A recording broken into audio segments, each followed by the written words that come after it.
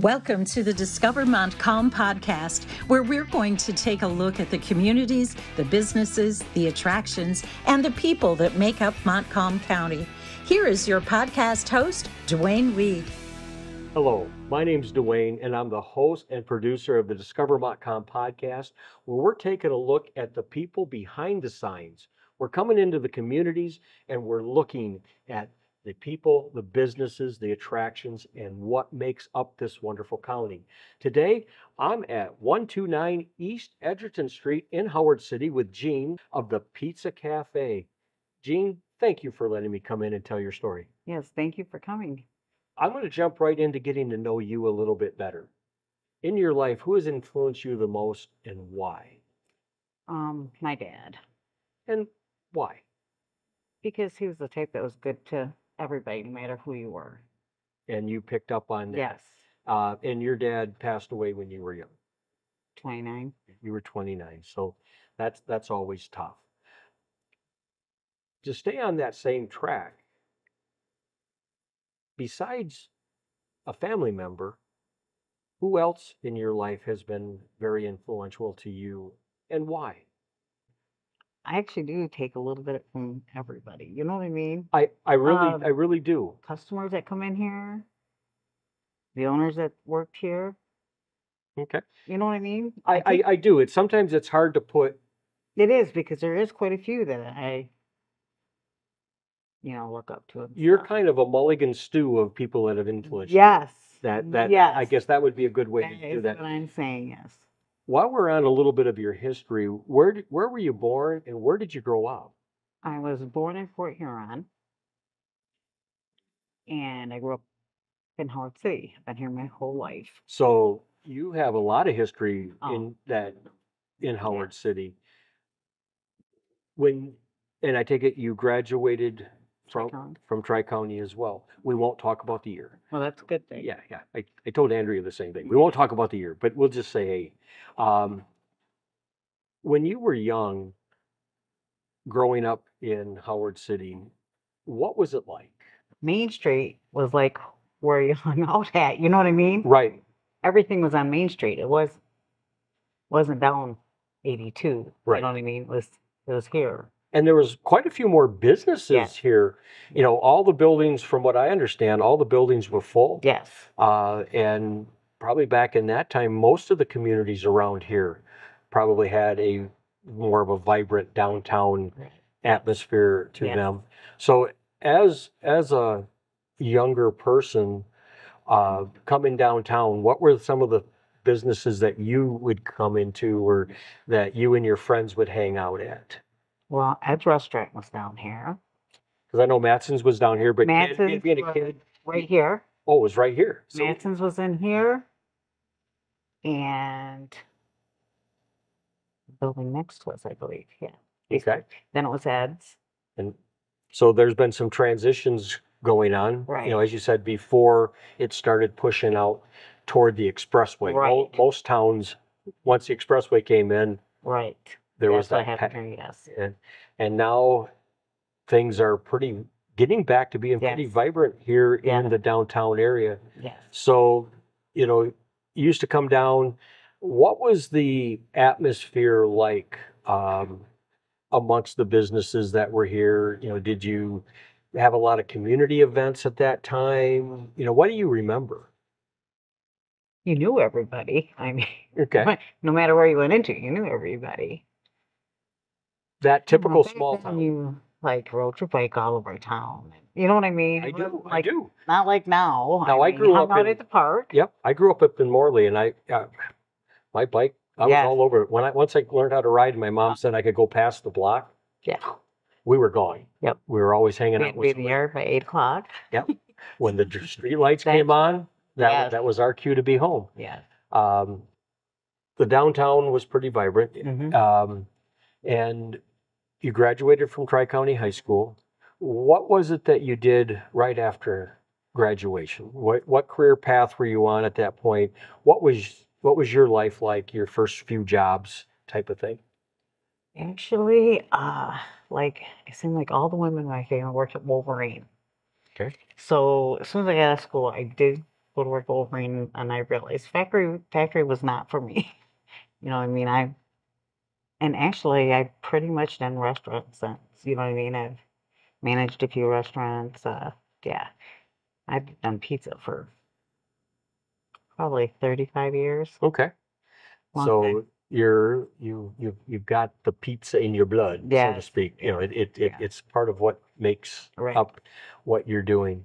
Um, so at that point, and then started a family here, Yeah, I yeah. Yeah, I got married.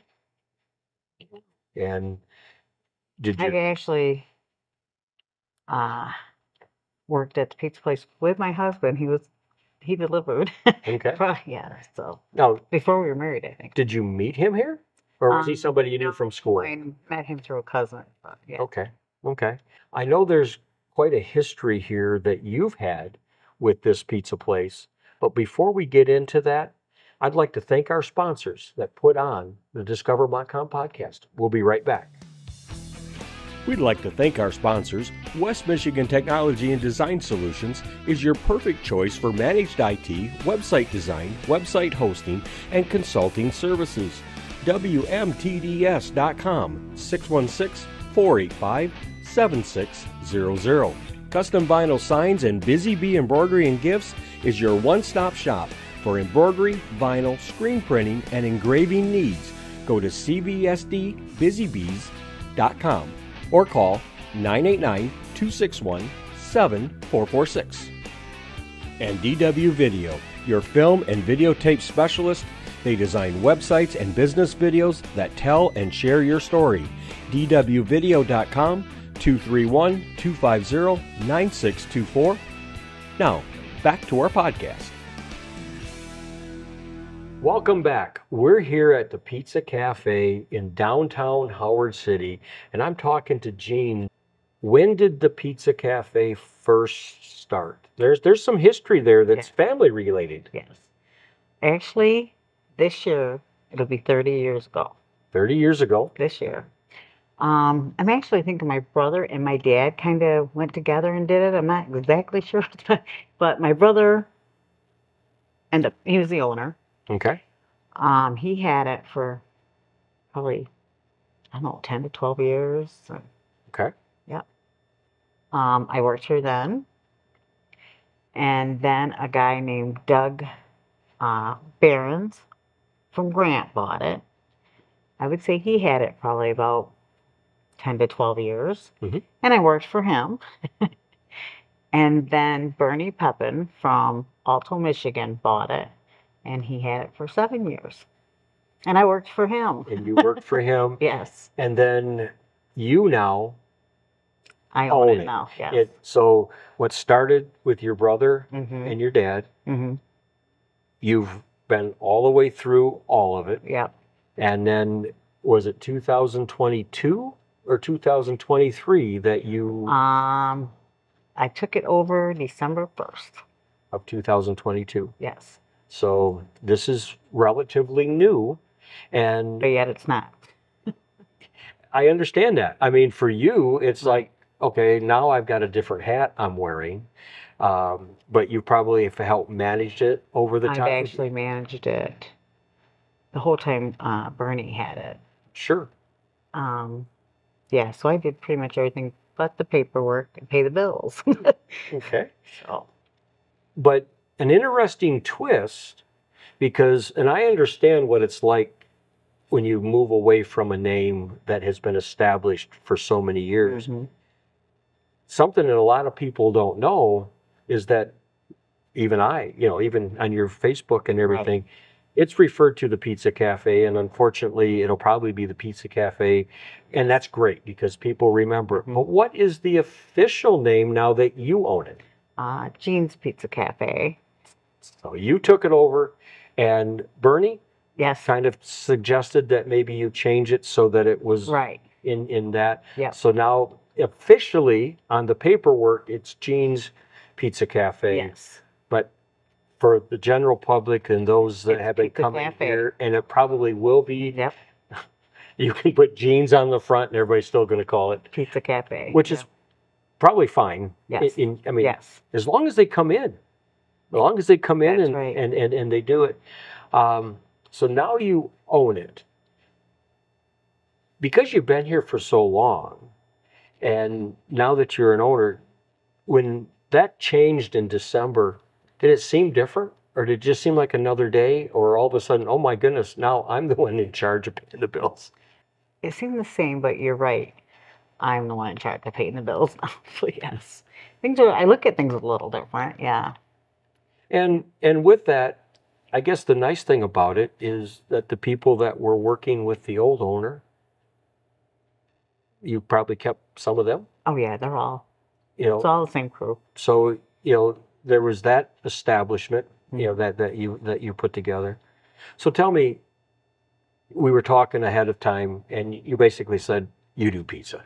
Yeah. You know that that's in your blood. That that that's what you've been doing. But what are some of the other menu items that somebody can pick up here at the Pizza Cafe? Uh, we do lasagna, spaghetti, chicken alfredo, wings, um, subs. I actually just started rib night on Wednesday nights Okay. and wet burrito nights on Thursdays. So the wet burrito night's going right in line with your music. Yes, that's yes. So, and now that I just said that, you have been hosting. I think Bernie hosted it, and there's been music Yeah. here for quite a while. But um, Bernie, did he start the the music? The, the, He the- started the uh, um, open mic night Okay. and the music too. But actually, years ago, we did music in here too. We've done music over the years. But also, Howard City's turning into more of a music. You know, there's more and more things happening Yes. around music. And your dad was also in a band when he was younger. You said Joker's Four? The Joker's Four band. and he was the drummer. he was the drummer. Okay, so I, I can I can relate to that. I Uh-huh. can relate to that. Um, so now that you've got music on, on on Thursday nights during the winter, it's in here, but in the summer you bring it out to the street. Yes. Um, was that your idea? Um, taking it out to the street. Mm-hmm. Yes. Yes, I did come up with that idea. And We've done it over the years, but I am the one that came up with that idea to do it on the street. and the whole idea behind that was to um, just kind of open it up, and it also lets other businesses get involved with this as well. Mm-hmm. uh, you know, which is kind of nice. They they they block off the the block here. I know your business does a lot of uh, takeout in that to the street. I see your waitresses, Yep. you know, running back and forth. Uh, your your kitchen, but I also know the forager. Get some things that people take, and now Andrea's across the Mm-hmm. street. You know, so you're you're kind of making it a downtown Yes. event. Has there ever been anything that you've said, boy, if I owned this place, I'd, I'd like to do this, other than you said ribs and burritos? Um, do you have anything up your sleeve that you might be thinking about in the future that you could discuss with us here? That you're like, I'd like to do this. Hmm, I got a few things. I'm actually thinking about opening up. I'm going to open up during the day to be open for lunch. Um, I actually do have a catering business too, and so I'm gonna bring some of my catering into here too. You know, like the meals, like the ribs and the Sure.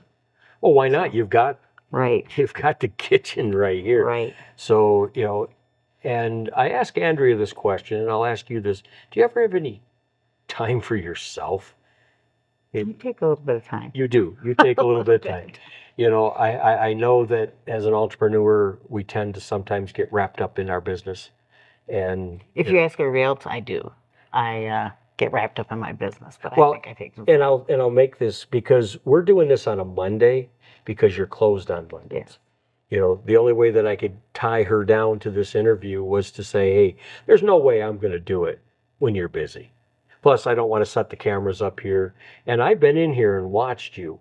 There's no way I could get two or three sentences out of you while you're, you know, because it's it's making the pizzas, it's making whatever is is, is on uh, tap for somebody's order. Back in 1993, you started here um, working when your brother and your dad Mhm. owned it. And you've actually been here and you've seen a lot of people work here, come here, they, they have a job for a while, and then, you know, and I would imagine that most of those people are probably younger and using this as maybe their first job. Yes.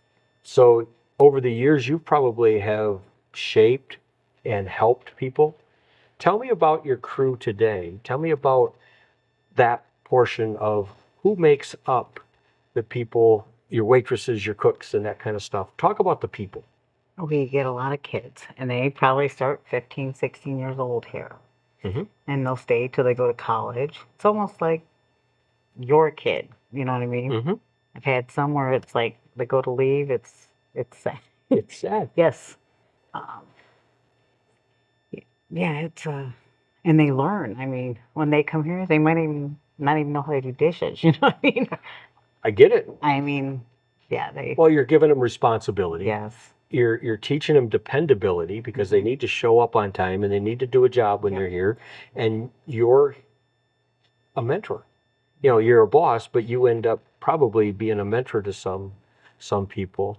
And whether you like that title or not, I guess that's what it is. So the fact that you've got these young people that you're you're training and you know, I remember last year coming up to the music and I recognize a couple of the faces that of the young people that are still here. Yeah.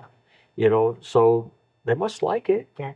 Well, they usually we they usually stay three years or so. You know, through school. Then when they go to college, it's when they. Well, there's that part where you've got to let the bird fly. I know. You got to let the bird fly. I know. So, Gene, thank you for letting me come in and tell your story. But before I go, um, how can somebody get in touch with you? Um, they can uh, check out our specials and stuff on Facebook. Um, Your phone number uh, 937 6477 and the address? 129 East Edgerton. Howard. Downtown Howard City? Yes. Downtown Howard City? And we do have a um, website coming soon. Okay. So just check the Facebook page. As soon as that's out, you'll be able to post that there. Yes. And, you know, so that's all of the contact information. I know that there's a chamber that has just started up here. And have you joined that? Yes. You've joined the Howard City Area Chamber. So as we build that website, we're going to get that done for them. Um, there'll be links to your stuff as well. But right now, I'll tell you what, just type in Pizza Cafe Howard City. You can catch the Discover Montcalm podcast at discovermontcalmpodcast.com. You can catch us on Google Podcast, iTunes, as well as Instagram, YouTube, and Facebook at Discover Podcast. Thanks again, Gene, for letting me come in. Remember to buy and shop locally. Connect and subscribe to Discover Podcast at discovermontcalmpodcast.com. Follow us on Facebook, Instagram, and YouTube at Discover Montcalm Podcast. To be featured in an upcoming show, contact Duane at 231 250 9624. Remember to subscribe at discovermontcalmpodcast.com.